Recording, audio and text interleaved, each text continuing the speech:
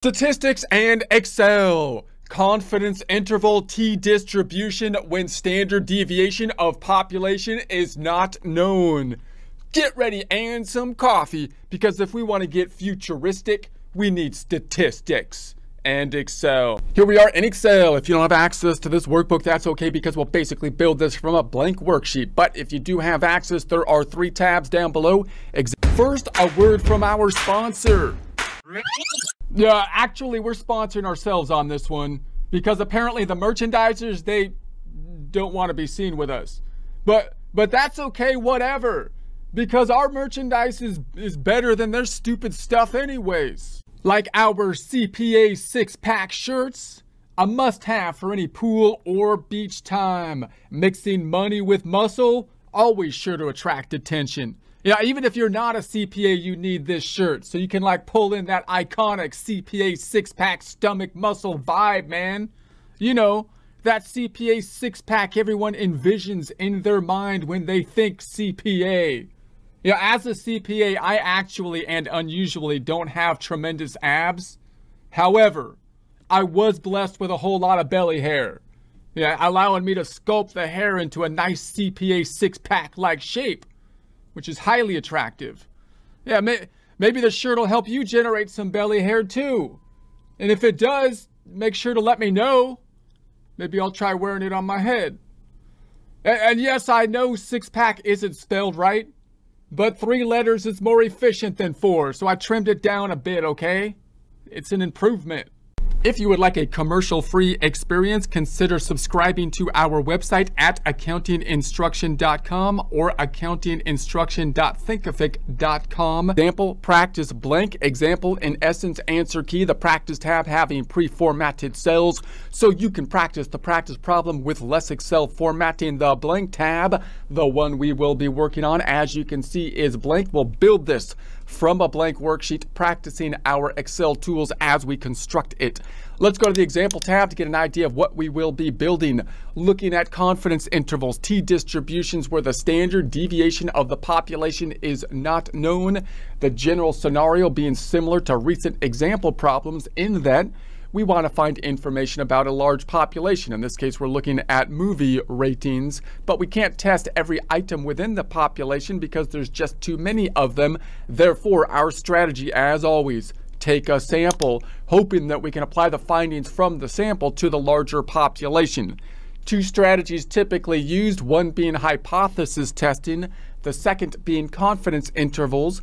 Hypothesis testing lending itself to situations where we think we know what the middle point is. So if we're talking about movie reviews, possibly the site gives us the average movie reviews and we want to test whether or not the number they're given to us is accurate or whether they're lying to us or something like that, in which case we would imagine we can build our uh, graph around the hypothesis, the number that is given to us, and then see if our sample is far enough away from that middle point to then reject the hypothesis.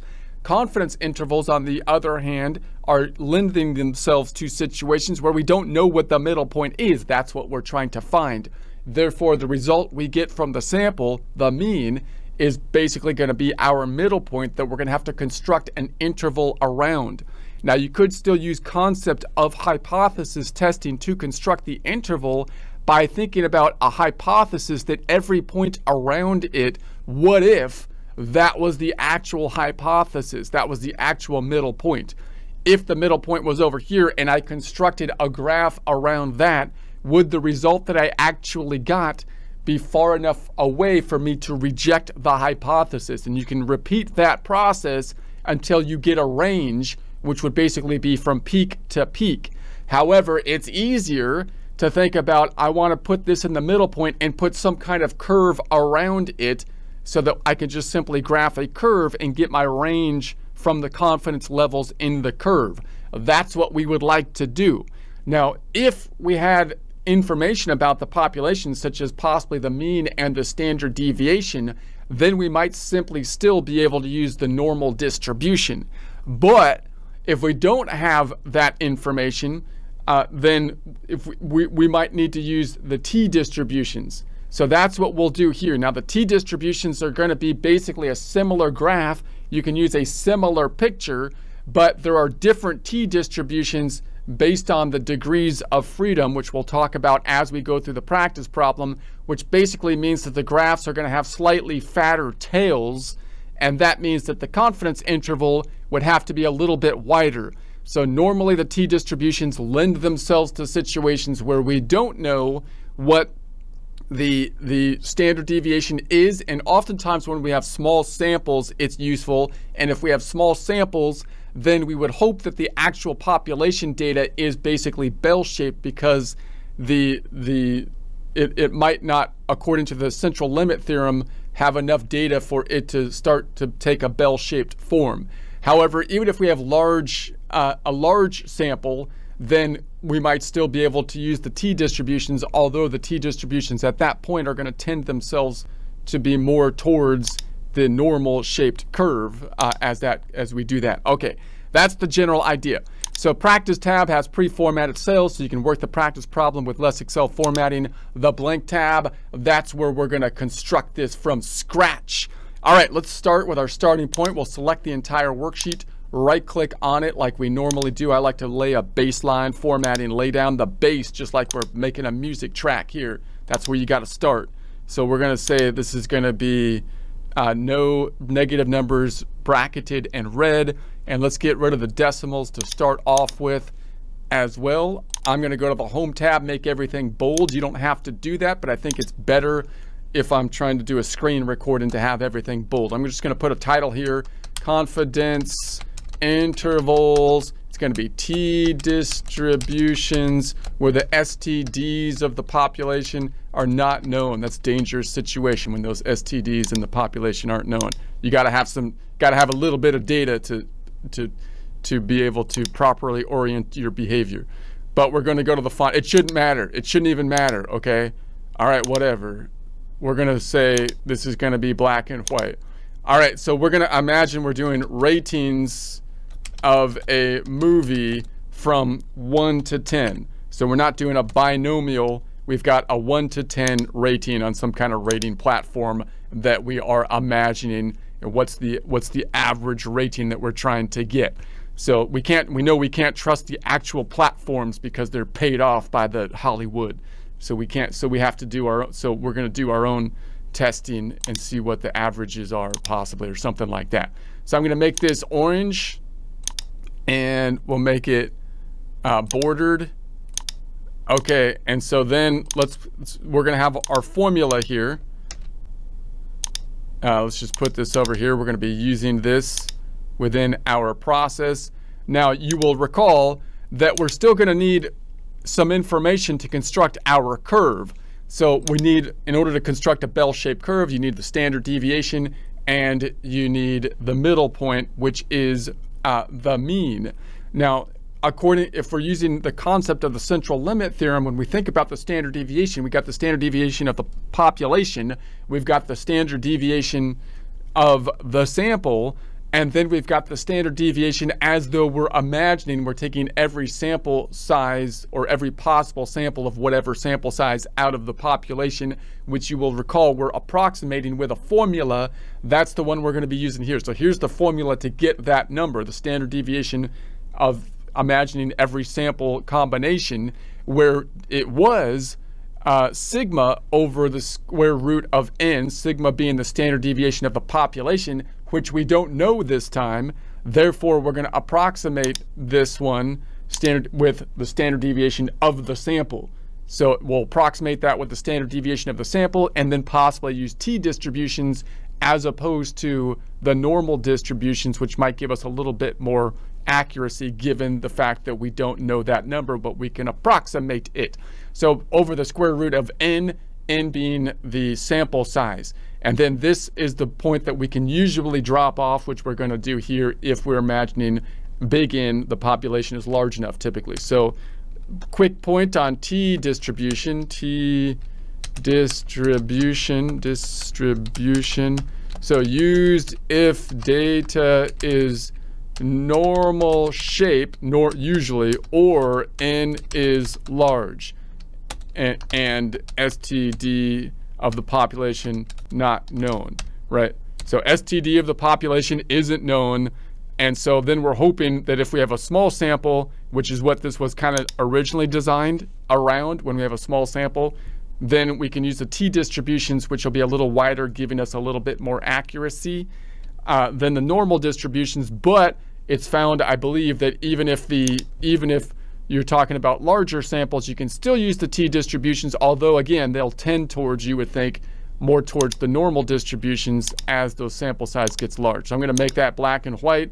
And this is our intro data, which I'm now making orange these days, which is relatively new. It's a new phenomenon. Let's make a skinny B. Now I'm going to make up our data. Now remember, with our movie analogy here, this is the behind the scenes stuff. The actual people in the movie don't know this, but we want to make it behind the scenes so we know what's actually happening. We know how many standard deviations, uh, how many STDs are in that population. So we're going to actually make the population, let's say, well, this will be the input, let's say and the input will help us to do a random generation. So let's go here. I'm going to format paint that over here. Actually, wait a sec. What am I doing? Let me undo that. I need the numbers first. So we're going to say the mean is 3 because the movie industry, as you know, is not doing too well. So that's like, I'm not talking about the critic scores. We're talking about the normal people that rate it because the critics are a bunch of paid off hacks as far as I can, as far as I can tell. So so it's pretty bad these days. It's just a note. So it's like at a three. That's like most movies. It seems like to me. I'm just making these numbers up, but I feel like they're pre- that's pretty. It's pretty close. So let's put some brackets around this, and then let's make it red and white, and then I'm gonna make this a little smaller, and then I'll make a skinny E by taking the skinny B home tab format painter, put that over here, and then we're gonna have our data data. And so I'm going to say make this black and white. So I'm just going to simulate our data as though we're pulling it from the platform or something randomly to get our, our random sample. So we'll simulate that by going to the data. If you don't have the data analysis, you can look up how to turn that on. Sometimes you have to turn it on. We don't, I don't want to go over that every time. We've seen it in the past, but you can find that fairly easily. And then we're going to go to uh, the random number generation. And we'll say, okay. That's the, oh, wait a sec, I canceled it. Wrong button. Wrong button. Okay. And so, so we want uh, the random number generation. Still think I got the wrong one. That's a regression.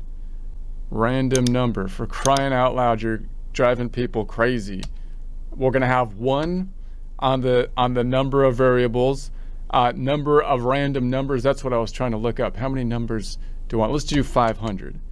And then we're, that's why I was thinking about that the whole time. So that's why I was messing up before. So we have a normal distribution, which is a bell-shaped kind of curve. So it's going to be around that center point. The center point being three out of 10. So the movie industry not doing too well unless you unless you believe the hacks but I don't listen to them because they, I don't think they're telling the truth. And then we're gonna say, okay, let's. There it is. We're gonna say, okay, and boom. So then we're gonna right click and let's. Now notice a few. There's some problems with these numbers, right? One is that this random data you can't give a, a star rating of a 3.6 or something and two you can't actually have negative ratings so now I'm gonna I'm gonna kind of tweak this data a little bit, which will manipulate it a little bit to be higher than 2.5. I'm gonna take this data and say, well, I, I want it so it can't be negative, and I want it uh, so so uh, so it doesn't have so it's rounded. So let's do this like in two steps. I'm gonna say first let's round it. So let's round it. I'm gonna say home tab paintbrush over here and let's do a round equals round and tap. Now notice you might be tempted to say, well, I can round it by just getting rid of the decimals, but that's not gonna do it because it's still unrounded in there. So, but if you do a round like this, round, uh, round tab, this number, comma, how many digits, zero, we'll say just round it to a whole number and enter, And so there we have it. Now, if I add decimals, there are none. All right, that's what we want. So then I'm going to copy that down. So that's good. But now I still have these negative numbers. And I don't want negatives because you can't do that on the rating system. So we have uh, no negatives. I'll just say no negatives. And we'll say, let's format paint that over here. How can I get rid of the negatives? Well, let's do an if function and say if it's greater than zero, then give me that number. But if it's negative, then give me a zero. And I, I get the feeling, I understand people wanting to put like negative numbers in there, but the rating platforms don't let you.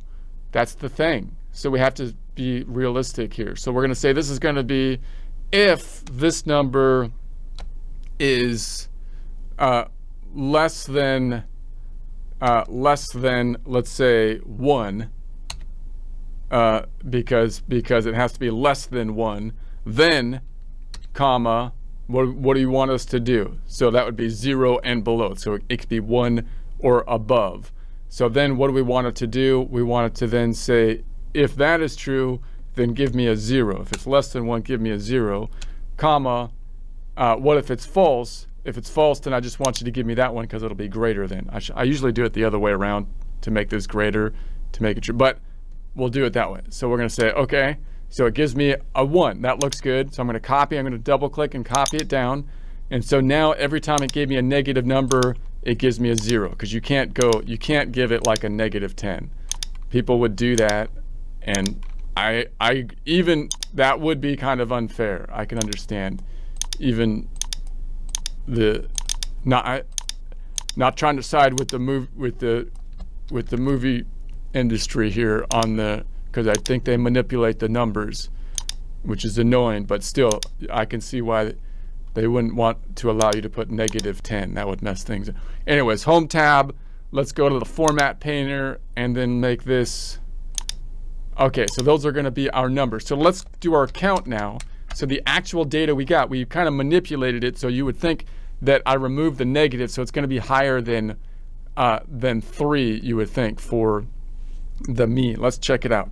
This is going to be equal to the count. Let's just count them. There should be 500. Control Shift down. Enter. 500. Okay. And so this will be the mean of the population. So this is the mean we're actually going to use. This is just the data input mean. The actual mean of the population is average of this these numbers. Control shift down, control backspace. The average comes out to three. Let's add some decimals to recognize, decimalize to recognize. So it's really 3.06. Didn't change it that much actually. I would think it would change a little bit more, but that's fine. 3.06 and then we're going to say the STD of the population. This is the actual STDs. This was an estimate. The actual STDs of the population are STD of the pop. And then control shift down, control backspace. Two. That's not too bad. Take our chances out there. Okay, no, no. We're going to go home tab. We're going to go font group. And then let's actually, we should be making these red and white. And then we're going to say control shift down. Let's make this red and white as well. Yeah, I just noticed when I made it red, then I get rid of the negative numbers. So let's go ahead and take this whole thing. I'm going to format this, format paint it so that uh, it's currency and the negative num. Well, let's just do this. Let's just do this column. I'm going to take this column, which has negative numbers in it, format cells, and then I don't want to, I want to make the negative numbers not red so you can see them. Okay, so there it is. And let's put some borders around this one as well. Okay, so now, now, now this is the behind the scenes work. Now we're gonna take an actual sample and the sample will just take a sample of like 50. So we'll say, uh, let's do a count and then a sample and I'm going to count from 1 to 50. We're going to take 50 out of the 500. 1, 2. I'm going to use my fill handle to just copy it down to 50 because that's not too many numbers. So I think this is the easiest way to do it then. Boom, 50 of them. And then I'm going to take a index. I'm going to randomly take uh, 50 numbers using an index function. So equals index tab I want the array, control shift down of these numbers, control backspace. And then let's F4 on the keyboard because I'm going to copy it down to all 50, dollar sign before the letters and the numbers, comma. And then I want to randomly pick between, so random between. Don't pick that random array thing because I do that all the time. And uh, I don't want to. That's not what I want to do. Bottom number is going to be 1 to, how many are there? There's 500. 500.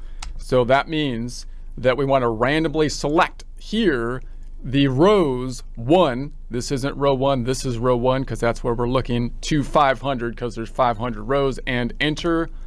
And it closes up. And then boom copy it down. There's our random sample. All right, let's make that black and white here. Let's make this black and white for a header, header. And then let's make this black and white too, so we don't get it mixed up with the data we want. And then let's make this, this is blue now, because if you don't have that blue, I've used that blue. You don't have to use that blue, but I think it's calming, soothing, keeps me rolling without with minimal frustration because of the soothing nature of the blue. Okay, it's going to keep shuffling and I'm okay with that. It used to bother me, but I have I have come to peace with it. So now we're going to say let's make this L a skinny O over here by going to the Home tab, uh, Format Painter, and make a skinny O and let's start running some data on this thing. So let's pick our N, which is going to stand for the count, which we already know is 50, but let's just double check counting it equals count tab, control shift down 50. Maybe I should call that sample count instead of the population. That's the sample count. Okay, and then we're going to say the uh, uh, the degrees of freedom. Now this is specific to when we use t's instead of the normal distribution. I need the degrees of freedom because that's the thing that tells me how wide the tails of the graph will be, how much different. There's actually many different t-distribution graphs depending on the degrees of freedom, which is basically based on the sample count. Now there's only, we don't have multiple samples, we only have one sample. So it's just, all you do to calculate is 50 minus the number of samples. In this case, we only have one. Therefore, 50 minus 1 degrees of freedom are 49.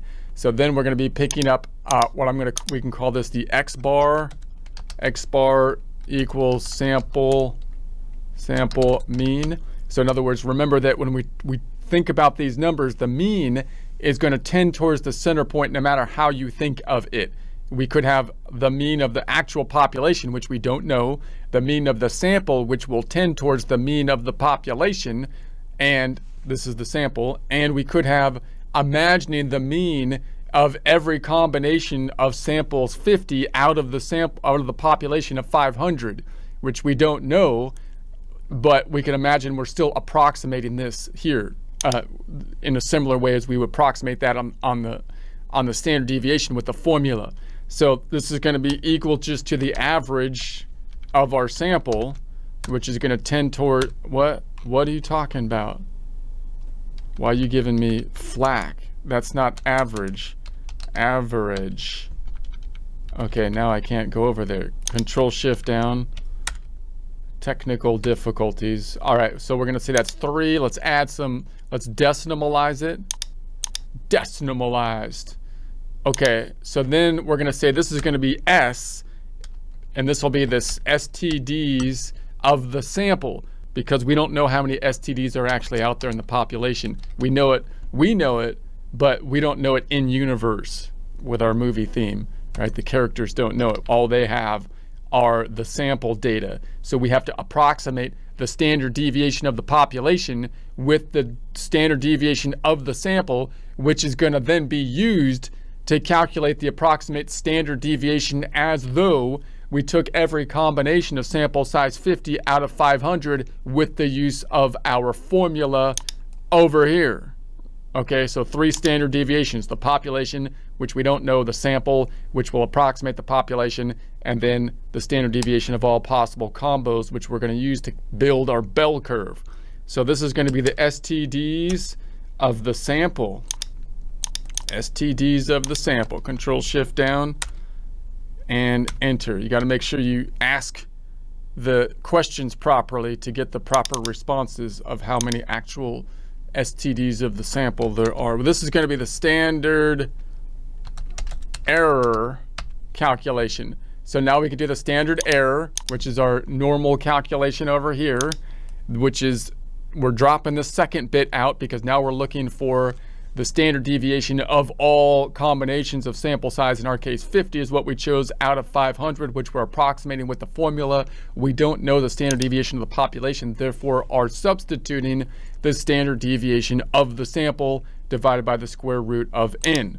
So we're just going to say, all right, this is going to be equal to the standard deviation of the sample divided by the square root, which is a formula, square root of n, which is the sample size, and enter. And it's going to close it up for me, hopefully. And then we'll decimalize it to recognize. Let's add a few decimals out there. All right, and then we're going to say confidence level. We're just going to say the, the 0.95, which is an arbitrary number of confidence, meaning that there's a 95% likelihood it's going to be within the range. We're accepting a 5% likelihood just by chance it'll be outside the range.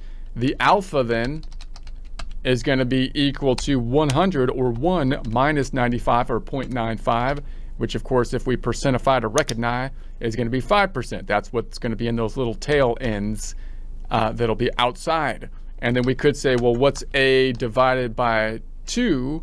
which is of course simply just alpha over, oh, whoa, whoa, whoa, alpha over 2, fingers are on the wrong things. That's just going to be equal to the 5 over 2, dividing that by 2, percentify to recognize.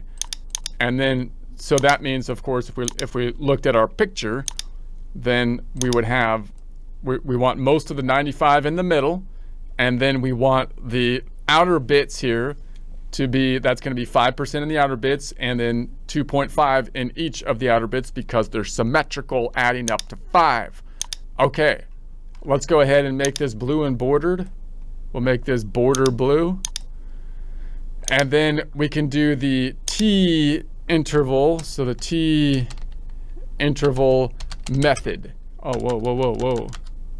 T interval method. My fingers just keep missing the right spot to type on. Let's make this black and white.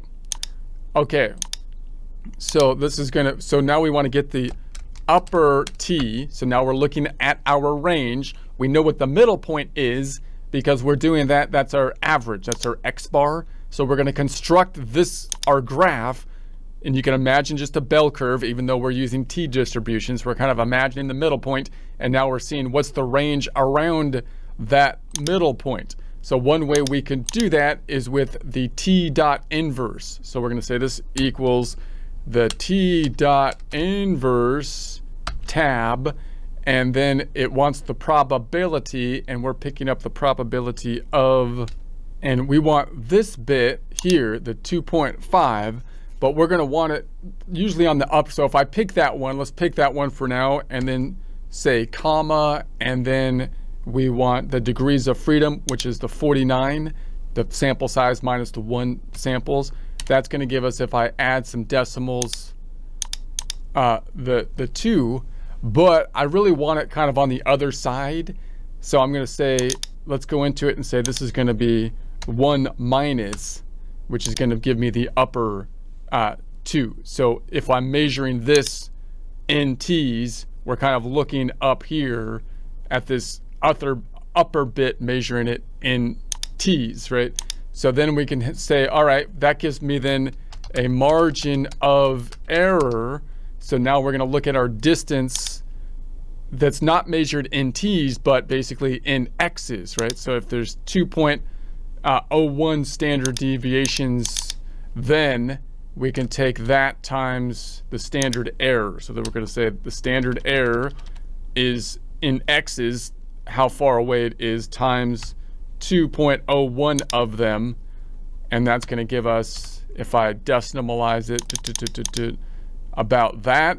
And then we've got the lower bit the lower limit, which is going to be equal to the, so now I'm to, so now I'm to actually build the range. So that's the lower and upper limit. So now we we have this in x's now. We have the x bars, the middle point, minus the margin of error. That's to be the lower bit. Let's decimalize to recognize. And then we'll say this is to be the upper bit, which is to be the middle point plus the margin of error for the upper bit, decimalizing it.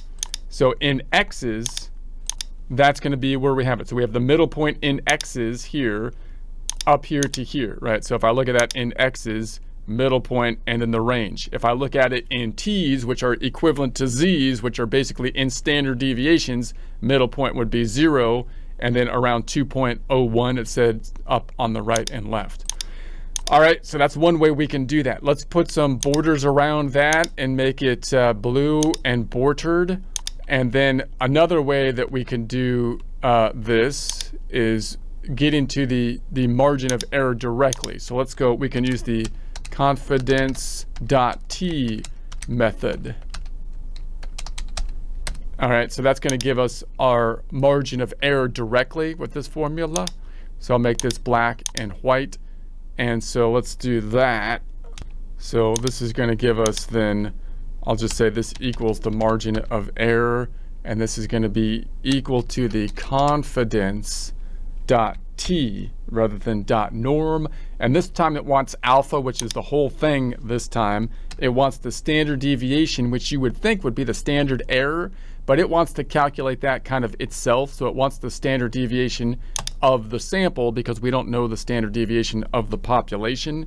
And then it wants uh, the size and the size is going to be the n here. So once again, we're giving it n. If it needs to calculate the degrees of freedom, it will do that on its own. So let's go ahead and say add some decimals and we get to the same number for the margin of error and then we can do the same calculation for the lower and upper limit from there which is simply going to be equal to the middle point the 2.7 uh, minus the margin of error decimalizing we see that we get to the same number as we got to up here and then the lower limit is the middle point the average minus or plus plus the margin of error. Margin of error. There it is. Sounds like a diet for a diet for kick, lowering your butter intake. It's margin margarine of error that I'm putting on my potato because it's not actually it's just air. So it's margarine of air. I don't know what I'm talking about. Okay, so we're gonna say let's put let's make another skinny over here and then we could do this with our data analysis tool, could simulate this data. So we could do that by going to uh, the data tab and then go to the data analysis. And we want then the descriptive statistics. I could say, okay. Now this isn't dynamic. It doesn't change with your data input, but it gives you a nice summary right, right from here. So the input range we want, I'll pick up the, the title on it and I say, there's my input range, boom. And then uh, we want, I have to say that there is a title on it. So I've got to put that in there. And then the output range, I'm going to put it in my graph. It won't let me scroll up to put it up there though. It's kind of annoying. Let's go in here and then back over. So I want to put it right there. And then I want my summary statistics. I want my confidence level, which we set at 95. That's like that's like the default because that's common. And then we'll say, okay, boom. And it gives us a lot of this information. Now it keeps shuffling over here, so it's not gonna be perfect because this is static and we have numbers that keep changing. But it gives us our summary. If those were static numbers, a nice quick summary uh, for us to take a look at. Okay, so then let's imagine now we're gonna be making our, our graph. Now, if you don't if you don't know how to make the t-distribution graph, you can approximate it with the normal distribution that we saw in a prior presentation. But this time, let's try to say, okay, how can I make the t-distribution graph? So I'm going to say Home tab, And let's put a paintbrush over here. And so what I'm going to do is I'm going to start with the T's, which are equivalent to like the Z's, right? And I'm going to put that in the center. And I'm just going to say we want to go four T's or Z, which are equivalent to Z's, up and back, which means that that should cover this graph if I'm measuring it in T's, which are equivalent to Z's, which are like standard deviations.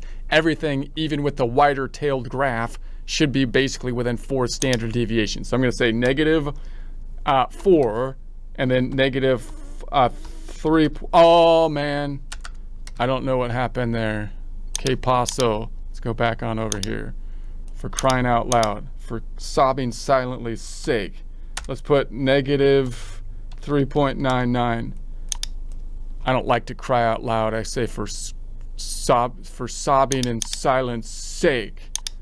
And then we're going to say instead of for crying out loud sake because I like to sob in silence. And then I'm going to make this go down to 4. And then, so we're going to go down to 4. Okay. So then I'll go back on up. So there, that is, and then I'll calculate then the, uh, the P of X, we'll say, we'll call it. And this is going to be equal to the t dot dist tab. And then this is going to be our X for our data input, comma. The degrees of freedom are 49. F4 on the keyboard to make it absolute so I can copy it down. And then uh, do we want it to be cumulative or not? I'm going to say no cumulative, zero. Close it up, enter, percentify to recognize, add some decimals, decimalize, copy it down. And then we can then say, okay, that's going to give us our graph, but in, in t's on the x, but I also want to convert it to x's. So if these are my t's, which are like my standard deviations, how could I get to my x's? It's just simply going to be equal to the middle point. Uh, wait a second. Yeah, the middle point, which is this, and then it's going to say plus this negative 4, in essence, standard deviations or t's, times the standard error, which is the standard deviation, in essence, interval for our graph. And then, so, and then I need to make this one F4 so I can copy it down. This one F4 so I can copy it down. Enter. Uh, decimalize. All right, let's copy that down. Boom. Okay, so let's make this black, white, black, white, and then, okay, so then I'm gonna go over here and we'll say, all right, let's center these. I thought I did that already. And I'm gonna select this whole thing and make them a little skinnier, double clicking to make them thinner. And then we'll make this one a little wider. And then let's select this whole column, control shift down, control backspace, and then we'll enter a graph. We'll go insert. You could approximate it with like this kind of graph, bar graph, or like a line graph, but we're going to the area graph. We're going full fancy for the area. All graphs, area graph, and then boom, that's the one we want. MUI B to the N. And then, okay, so here's our standard stuff. Now we can just say, we have this graph. Now I'm going to put on the X uh, down here, we could put either of these two. I want to replace what's down here. Let's go this one. And let's actually replace it with the normal x's because that's what we normally do actually. It's replaced with these. And then I'm going to click on it so it appears. So there it is. So now these are the x's uh, in terms of the x's. And then I want to put the t's, which are, which are like equivalent to the z's. But to do that, I have to have another kind of graph on top. So we're going to graph the n bit. So, so what I want to do is, is say it needs to be between this range, the lower limit and uh, the upper limit, right? So we're going to say, let's try to put like a little formula up here so it'll, it'll change dynamically. So I'm going to say that I want the lower bit to be this, the lower bit to be this, and that's going to be less than x which has got to be less than the upper bit, which will be here. Now to make that work as a text, I have to put quotes around this and then quotes around this. And then the quotes have to have an and in between them or Excel will get mad. So we put an and between the quotes. Now that's still going to be a problem because it gives me all those decimals. So how do I get rid of the decimals? I just use a round function. Going back into it, I'm just going to put a round in front of this. Round, round it out. Comma, how many decimals do we want? And let's make it two decimals. And then this one will round it out. Round it out. And then we want comma, how many decimals? Two. Close it up. Enter. All right, that looks MUI B to the N. BN, as they say. And let's go ahead and center that. That's centered. All right, so then we have to do an if logic test. Let's direct, put this down there. If tab, we have two tests. Therefore, I'm going to embed an and as well. If and, the two logic tests are number one logic test. This x has got to be uh, greater than has got to be greater than the bottom bit. It's got to be greater than the lower bit. And then comma, next test, we're still in the and part this x has got to also be less than the upper bit right there, the upper bit. And then close that up, the and has been completed, comma, the value, what do you want to do if that's true? I want you to give me the percent if it's true. And then comma, what do you want us to do if it's false? Just give me a blank, which I have to do by putting a quote, space, quote, end it. Now, before I hit enter, I need to make these two absolute so I can copy it down. Those are in column Q, so everything in column Q.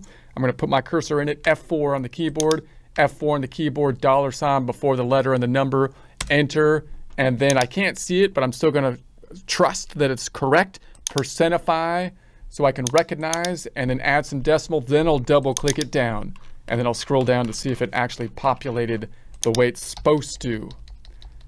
Okay, I think it did. All right, let's go back on up. So now I'm just going to add that column to my graph, which should be the middle part of the graph. So I'm just going to go chart design, data, add a data set. This is the series name. I'm going to delete this bit, put my cursor in this cell, control shift down, control backspace to go back up, select here and then back until it populates and okay.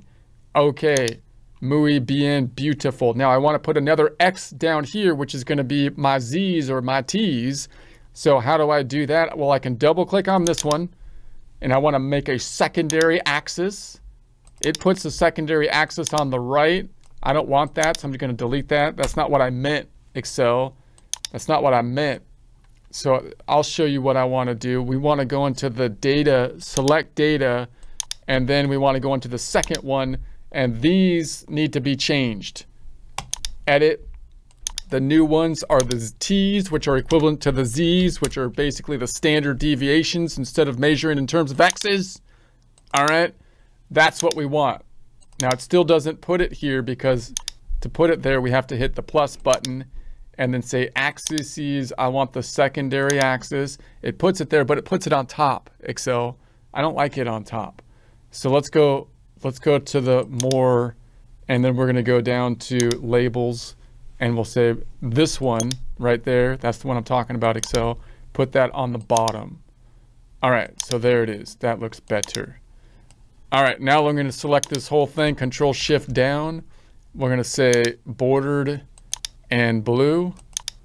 And then if I check this out, let's just see if this makes sense. I'm going to put a little, my little line in here so I could uh, move it round and say, okay, the middle point, according to our interval, is should be the mean, which is currently at the 2.62. I say currently because it keeps changing every time I click on something, but 2.62, I think that looks about right.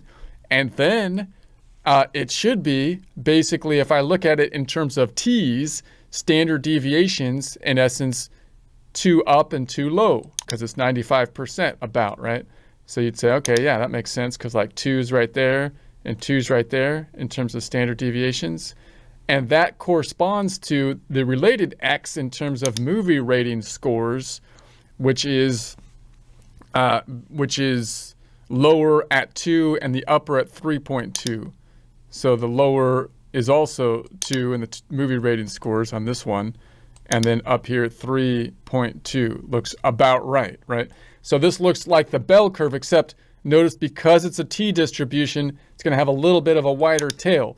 So if, if you were to construct this with like the normal distributions, just to get a picture that looks similar, then then you're going to have a similar, you know, T's down here and and X's, but the graph the graph is going to is going to be a little bit tighter towards the middle, right? Because it's going to have less fat of a tail.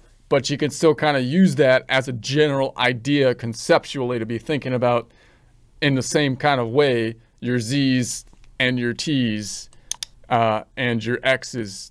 And remember that we're talking 95% in the middle, recognizing that even with random chance, there could be 5% uh, in the tails where our sample uh, is not correct. And by the way, uh, we came up with a a middle point of the 2 point, uh, 2.62 versus the actual population of 3.06 and our range we came up with was from 2 to 3.23 and so 2 to 3.23 was is the actual mean is in between there right? Because it's 3.6, so it's under this bit. So we're so the actual mean does lie, you know, within our range here. Okay,